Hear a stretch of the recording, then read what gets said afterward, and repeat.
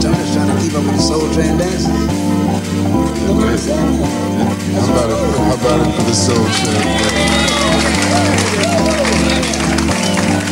James, if you had some advice for young people, what would you tell them? Well, uh, first thing I'd say, get yourself together. Get yourself together.